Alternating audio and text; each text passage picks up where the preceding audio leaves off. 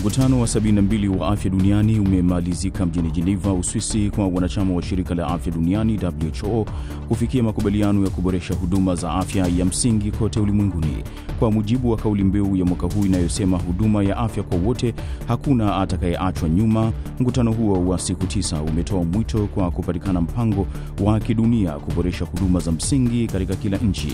Mkurugenzi mkuu wa WHO Dr. Tedros Adhanom Ghebreyesus amesema wote wana wajibu wa kuwekeza kwa hali ya juu katika huduma za msingi za afya, kutekeleza mwongozo wa WHO kwa wafanyakazi wa afya na kuhakikisha kuna mazingira bora kwa upatikanaji wa huduma za afya kwa wote. Rais wa China Xi Jinping amefanya mazungumzo na rais wa Niger Mahamadu isofu mjini Beijing.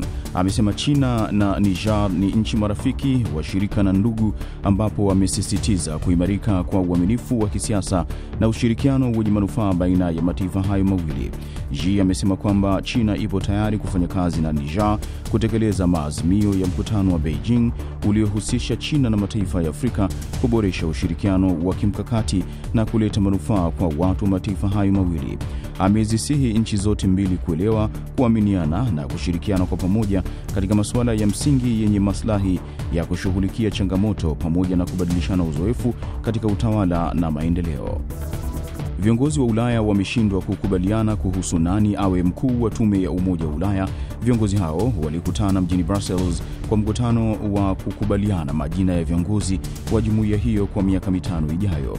Uchaguzi wa EU wa wiki iliyopita umerejesha bunge la Ulaya huku kukiwa na mgawanyiko na kuongezeka kwa waliberali wa mrengo wa kushoto pamoja na wale walio na msimamo mkali, jambo ambalo limesababisha iwe vigumu kufikia mwafaka.